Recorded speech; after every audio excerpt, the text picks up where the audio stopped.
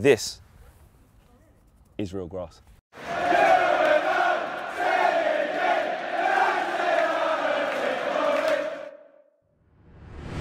Yes, mate. I'm already not in a good mood, man. I started off all right, got a good night's sleep, went to bed early. First flight was all right. Got an hour and a half waiting time. I thought, oh, that's all right to wait for a flight. An hour and a half was actually walking to the gate from one plane to the other. I get on the plane, look, I'm like a sardine. Look, I had to take this off, take the jacket off. Got a bag there, I've got my big suitcase under there. It's because you ain't running by the rules from us. I told you, you just got shoved. See, look at that. I'm empty. My stuff's away, baby. I just, I just need to get there, and, uh, and it's 28 degrees there as well. So It's already hot. It's baking. and it's already baking. juice. I, I got all the winds turned on, and they're all on me. if you haven't noticed. Little thief, bro. Little Look at you trying about. Hey, hey, that hot. Hey, Nah, it's bacon. it's bacon. Yeah, I told you about bacon and It's eggs. bacon, bro. I'll see you lot on the other side, and I need to flip in, watch some Only Fools and Horses or something to calm down. Yes, mate.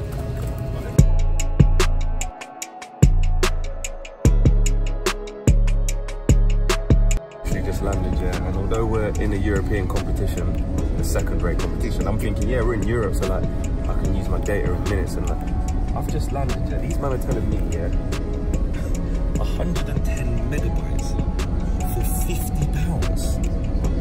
50 pounds. If I was to try and upload fan cams and was to try and get content for you guys and upload it after the game on 110 megabytes for 50 pounds, I'm saying, Mark, yo, we, we need about two grand. I'll be If saying to, more. I'll be saying to people, what did you think of the game? Thanks. I'll just be predicting them what they're gonna say, but there's no point in even asking them a question. Which was my one again. Yours was seven pounds. Seven pounds something for one megabyte, fam. Yeah, so that's one, yeah, and a, and the fan cam's 500 megabytes. So what's let's say seven pound fifty times 500 to upload one video. I'm not even good at maths, but that's peas. anyway, let's get off this plane. I can already feel it's hot. Oh, everywhere you go, always take the weather with you. For those that don't know, that was fully going to be in the last vlog that we didn't put out. Yeah, because it was freezing cold in an al- aluminium tin pot. I don't think though we're gonna be like this. I'm actually really looking forward to this. I have to say, one of my favorite things about coming to other countries is uh, languages, because uh, sometimes you look and it's just like someone spilt the alphabet everywhere. I mean, what does that even say? I don't know. But that, I think is hilarious. Poo sucker. I mean, smoking, health and safety, bad for your health, know what I mean?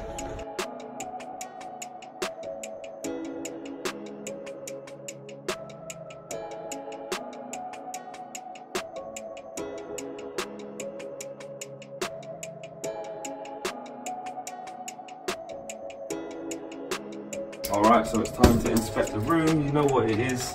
I keep saying the same thing every time. Cleanliness. Clean bathroom, fam. Exactly. Clean bathroom, clean bed. That's all. I'm not I gonna lie. Where was we last time in Manchester? That was nice. Castle Point. Castle. Mold on the ceiling. Oh, I never saw that. Well, anyway, um, with this chain of hotels, not going to say which one it is in case any of you lot are in Serbia are going to try and run down and work out where we're staying. Yeah, you already But see the magic room number. Um, yeah, with this chain of hotels, it's usually good worldwide, so at least you know what you're getting. So let's check it out.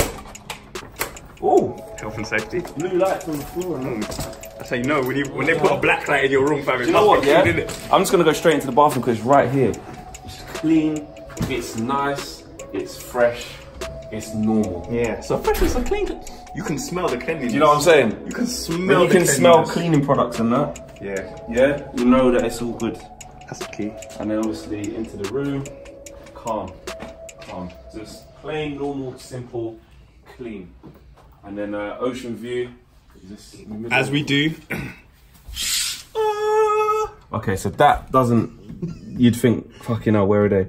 But um, yeah, I like. Do you know what? I like this feel. Um, but there's a lot of graffiti on all the walls. Some of the walls look a bit worked and that. But so far, what we've seen here, I like it. It's cultural. It's got a nice feel. Everyone's been friendly, and I know a lot of people, including me. Sometimes you have like, you know what I'm saying? Worries about coming to these types of places, and really.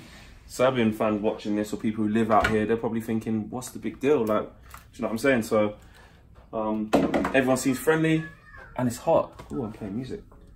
Let me pause that. Um, and most of all, it's hot. I literally was about to pack the big North Face jacket. Yeah, I, I did. I still packed the woolly hat and the gloves because I thought when I checked the weather and it said 28 degrees, I thought this is lying to me. This is lying. I know it is. Let me just bring it. But I've come here and it is fully hot. It's fully warm. I'm in jeans and trainers, as you can see. Um, I need to get out of this. I might even uh, put some shorts on because I did pack them as well. Peace.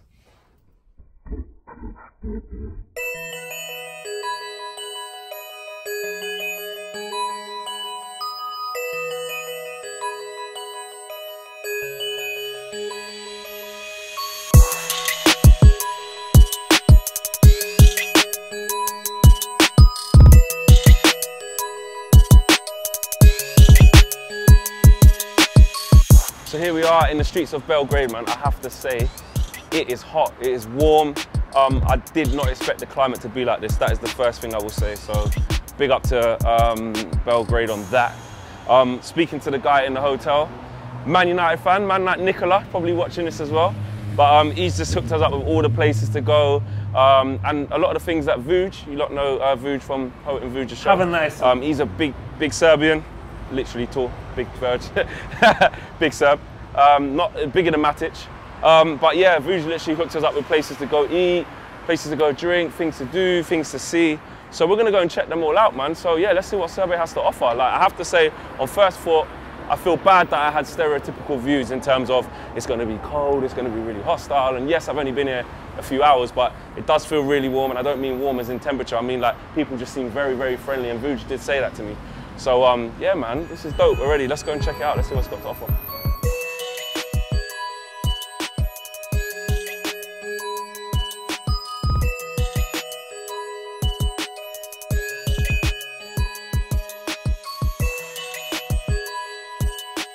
This looks like Houses of Parliament, fam. Actually, don't look like Houses of Parliament. Not Houses of Parliament, but it looks it looks like an important building. It doesn't look like flipping studio flats. So I bet it probably is, isn't it?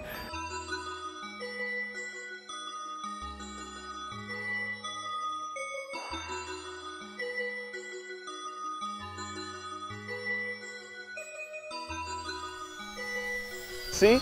Telling me, you're telling me it's not no important building. Look at this. Look. That looks pretty important to me. No, bro, it hasn't just got a flag, it's got like all like things. It's a university, that's what it is. So they were probably like dorms maybe. but it's the University of Belgrade. That's what it is. Which I would make that quite important. It's a fucking Right, so I'm in um, Walter Sarajevski and like Vuj said, we to try some traditional traditional Serbian food. I'm gonna have a zavapi. A zavapi? Chavapi. Chavapi, fam. Chavapi, which is made up of like onions and spring onions with some cheese here, which looked like ice cream. I thought it was gonna melt in there on top of the sausage. I thought ice cream on top of sausage, but it's not.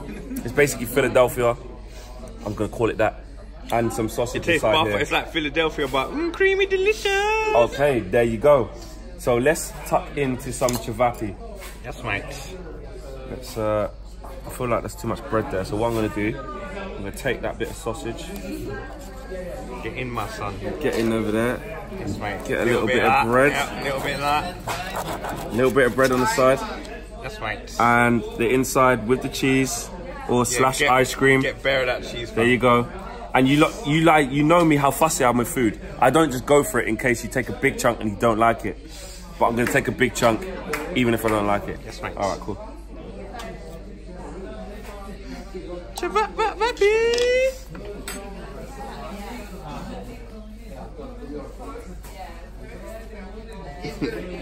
It's very good. Yes, mate. yeah, ooh, yeah, yes, mate. That cheese really isn't ice cream, it's actually cheese. Chavapi, 9 out of 10. Yes, mate. And it could be a 10 by the time I finish it. But it's like a it's like a glorified kebab. I like it.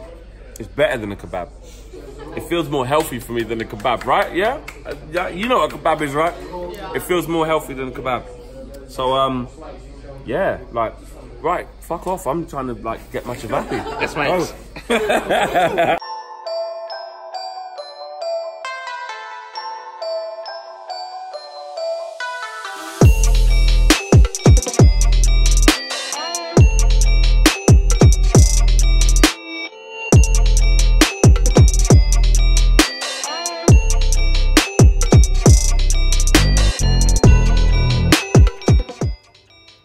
We've done it again. We are pitchside here at the Partizan Stadium here in Belgrade, Serbia for the Partizan versus Manchester United game later on. Very, very warm, man. I can't lie. 28 degrees. There's me taking my North Face jacket to the flipping dry cleaners just to be leaving it at home because I checked the weather and it's 28 degrees. Um, the people have been warm, the people have been lovely here. There's been a lot made about coming here, players talking about protocol and stuff. Hopefully it doesn't come to that because my experience of being here so far has been fantastic. So let's give you a little tour of the stadium. So here we are inside the tunnel at the Partizan Stadium, man, here in Belgrade. Very tight, very compact. They're going to hear a rupture of noise before they walk out of this tunnel. Both sets of players are going to be in here. Scotty McSauce going to be eyeballing people, ready to win that midfield battle. Martial's going to have his cool. He's not to have his gloves on because it's 28 degrees. Um, anyway, they walk out of there into here. There's a bit of a running track here. So West Ham, this is how it's done if you're going to have a running track. Yeah, not flipping 9,000 miles away from the pitch.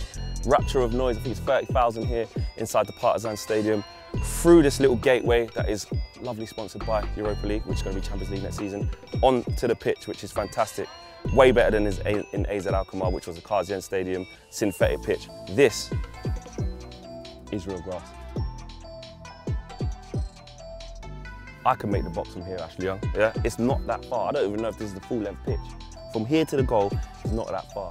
So Andreas Pereira, Ashley Young, you heard it first. Flex has been here with an imaginary air ball. I've already whipped in two to the centre spot in my head. It's not that hard. The goal's only there.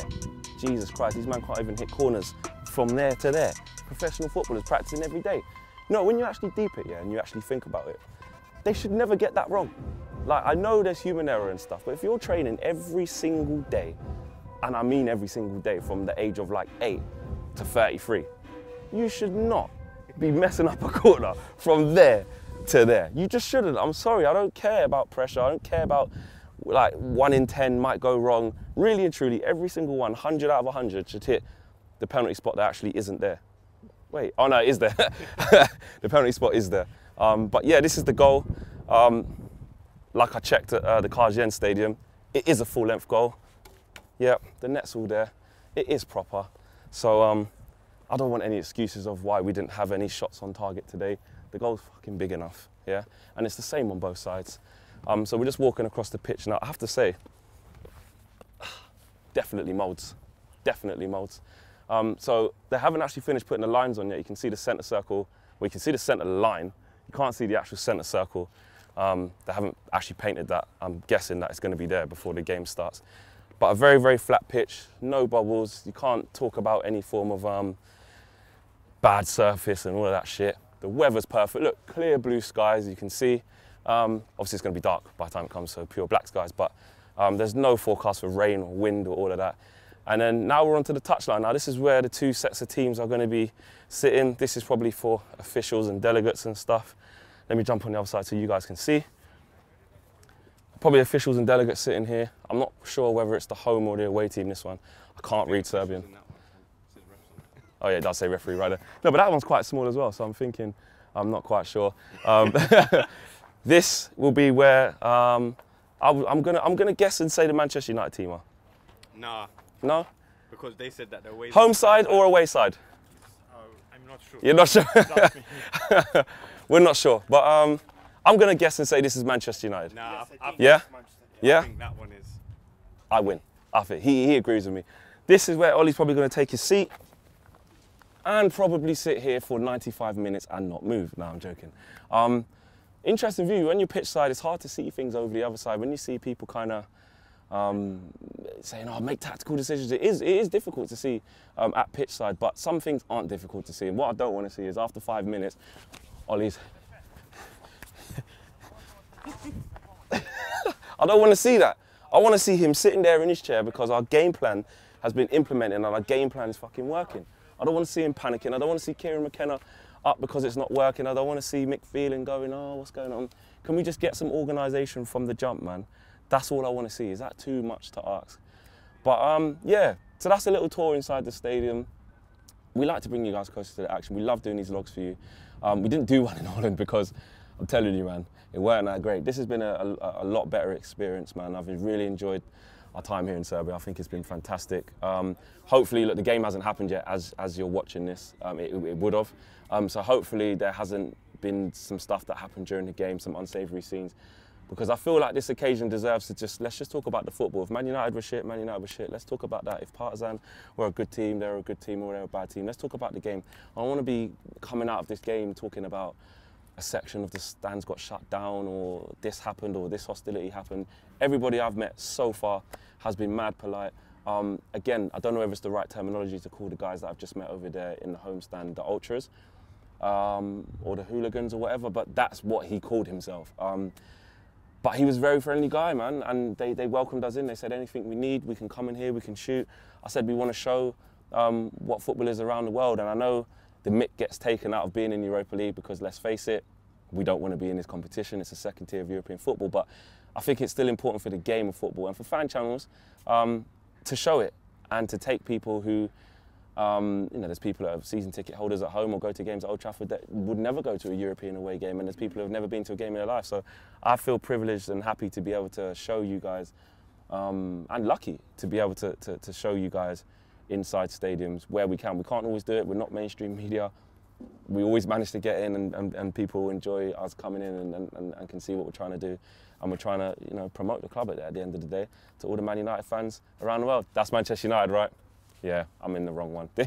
this is you did say that. Told you told me it was here, man. it's okay, no problem, no problem. Flipping it. So some bunch of players. you know what I'm saying? A bunch of players that I don't know will be sitting in this dugout, and a manager that I don't know his name will be sitting in this dugout. The Man United dugout is over there. Um, but like I said, to finish off, man, um, thank you guys for watching, and um, I hope you enjoyed the vlog, man, because I certainly have. The result hasn't happened yet, the game hasn't happened yet, so I've still got a big smile on my face. Um, but hopefully that smile is still there come four o'clock in the morning when we've got to leave to go to the airport to come back to interview Ryan Giggs. Actually, that'd be pretty good. Peace. It's match day, it's loud. Um, we're probably about 45 minutes from kickoff. Team news has been announced. We've gone with the back five. Um, again, Brandon Williams getting a start as well. Jimmy Garner getting a start. Martial getting a start, which is brilliant. Our fans are just waiting to queue um, outside the away end, which I'm going to go to in a minute. I can feel the atmosphere vibes in that south stand that we was in earlier in the vlog where the ultras let us into. I can hear them literally on the other side of that stadium. Um, and it's, it's, getting really loud, man. So I'm, I'm buzzing, man. Police, um, to be fair, they, I know it looks like the army, but um, they've got a job to do, man. And so far, there's been no trouble, and everything's all good, man. And everyone seems in good spirits. So let's get into the stadium too. Let's have a look.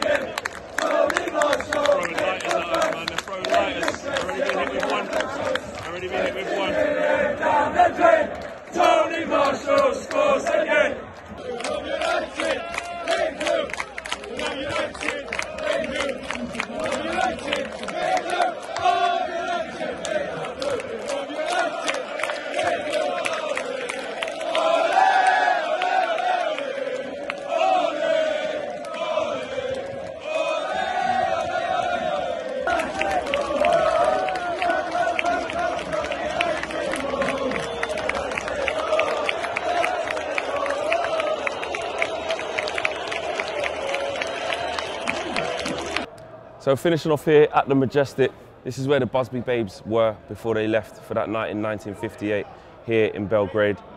A, a tragic moment, a fitting way to finish off um, the vlog. We've won the game by 1-0. There was a little bit of hostility inside the ground, I can't lie about that.